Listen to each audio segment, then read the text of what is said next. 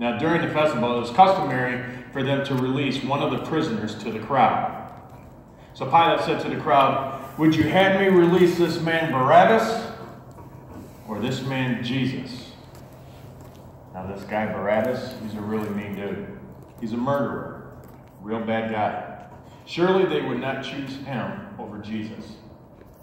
But it was true. They wanted Barabbas released, and they wanted Jesus executed.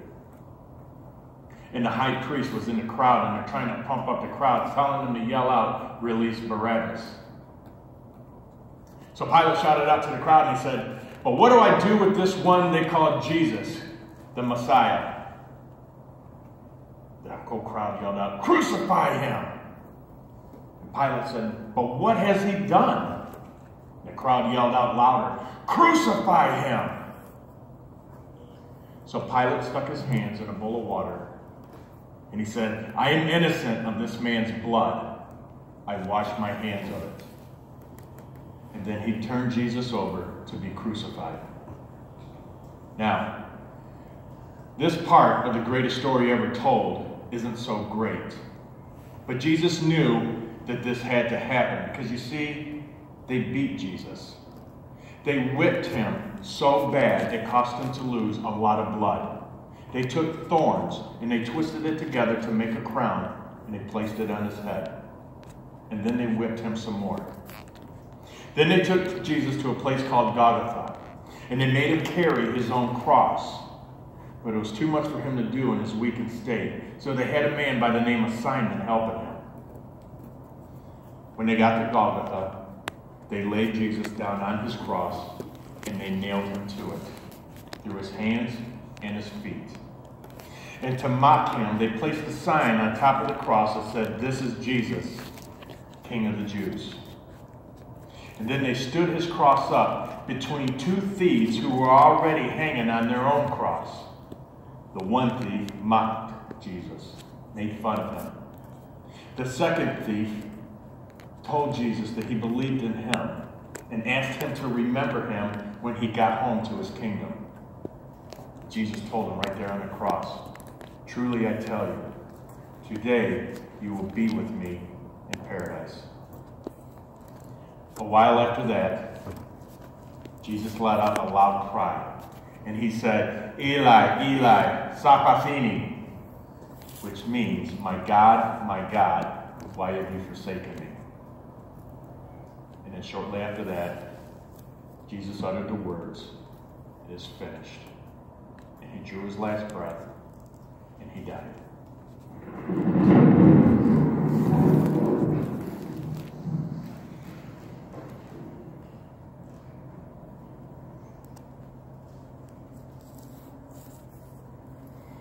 Now, this wouldn't be the greatest story ever told if it ended like that. You see, Jesus told his disciples that he would rise from the dead three days later, and he did just that. Jesus kept his promise. The chief priests knew of this promise, and they asked Pilate to make sure that the, the tomb was guarded so that Jesus' uh, followers wouldn't take his body and make it look like he did. That's right. Mary Magdalene came to the tomb, and she found the stone had been rolled away. And the guards that had been placed there had fallen down dead, well, like they were dead, at the sight of an angel. This angel was amazing. And Mary was scared, but the angel said, Don't be afraid. He is risen. Now go and tell everyone. And he did just that, or she did just that, I'm sorry.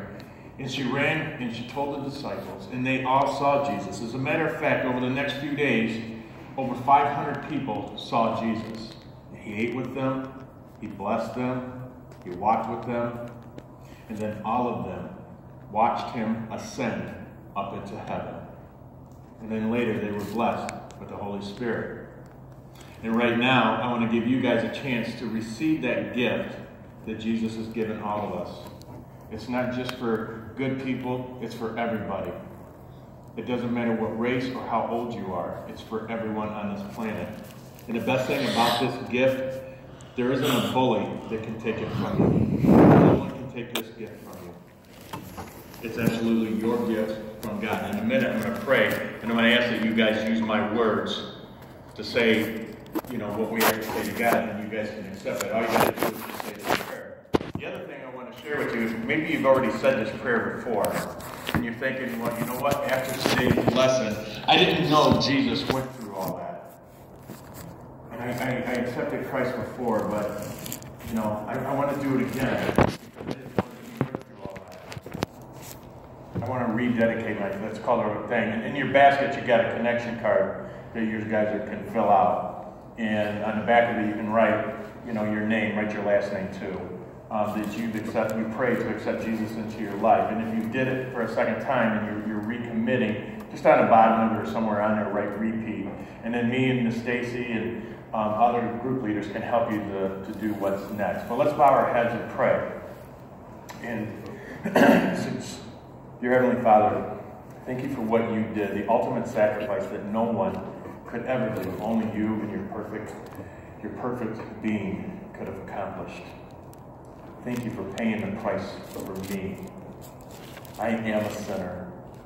And Lord, I ask you to forgive me of my sins. I believe that you died on the cross for me, that you paid the price so I didn't have to, so I can have eternal life with you in heaven. I believe that you rose from the grave three days later to prove you are God's one and only Son. Lord, I need the Holy Spirit in my life to help me live the life that you would have me live. And I choose to live that way. I pray this in Jesus' name. Amen. Amen. And like I said, if you filled out that card, write your name, your full name on there, and then turn it into your leader in a minute, we're going to sing a praise and worship song, and then you guys have a craft that you're, or activity that you're going to do with your cross. Enjoy.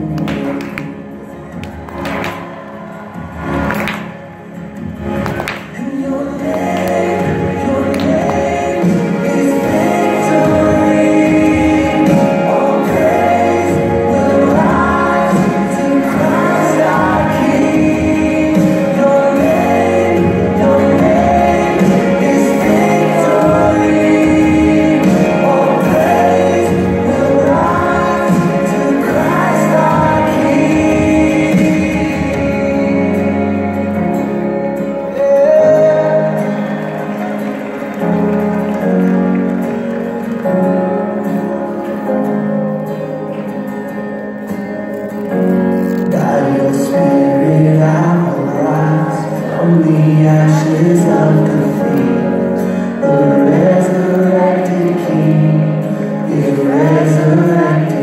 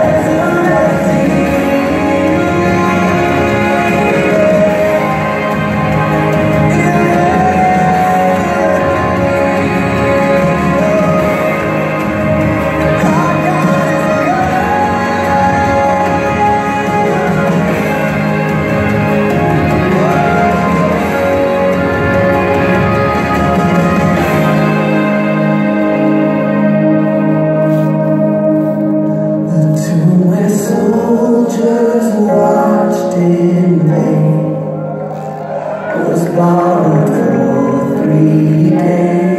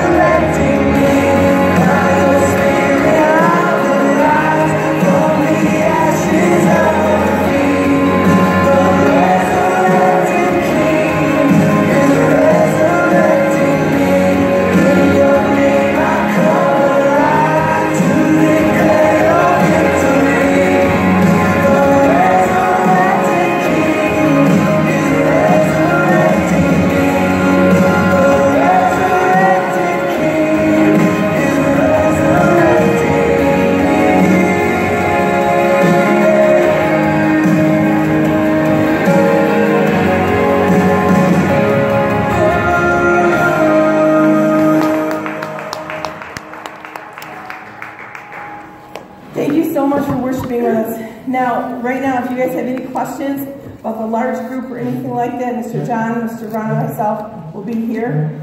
You guys can spend some time with your small group leaders and get your activities done. Thank you so much. You guys ready? Mm-hmm. Sweet. Cross. Okay. Cross. Cross.